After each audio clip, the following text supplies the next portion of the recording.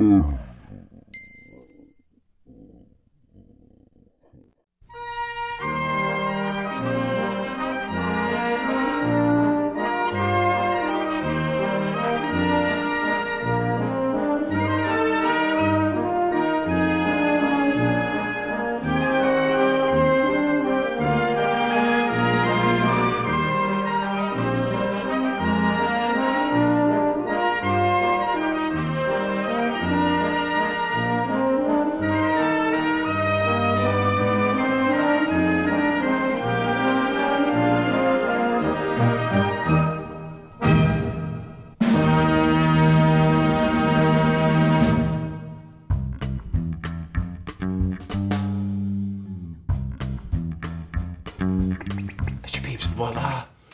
And Ali Baba.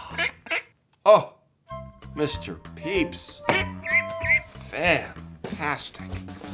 Mr. Peeps, do you know what two of my favorite things are? No, I know we have to finish the six minute film script before lunch, Mr. Peeps, but I don't have any inspiration. So while we're waiting for inspiration, why don't you tell me what you think my two favorite things are? What's that?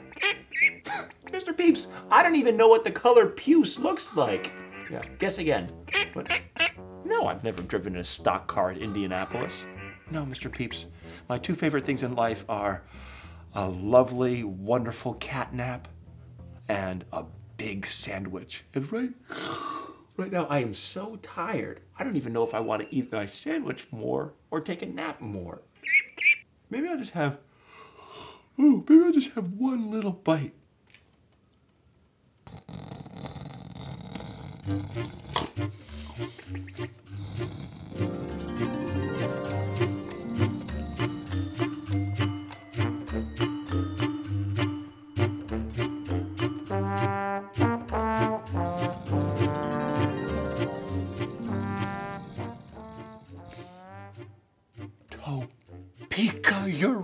Mr. Peeps.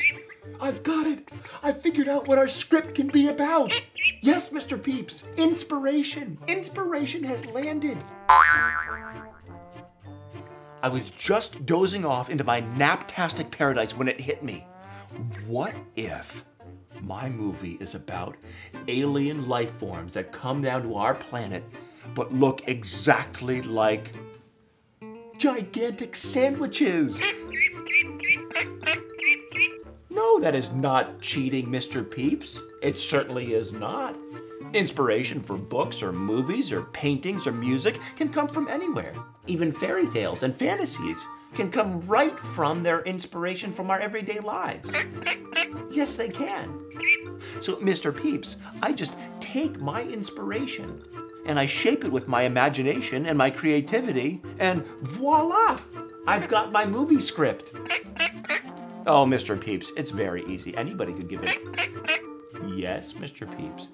Even you could do it. Mr. Peeps? Do you want to give it a try? Yeah. All right, so what would yours be about? Oh. What's, what's, what's that, Mr. Peeps? You're using me as the inspiration for your story? That is fantastic. Where are you gonna put your story? Uh, well, um, uh, Mr. Peeps, if you're not gonna let me out of this inspired story, Mr. Peeps, then maybe you ought to press play and start the films. Okay, are you powered up? All right, duck, duck, juice!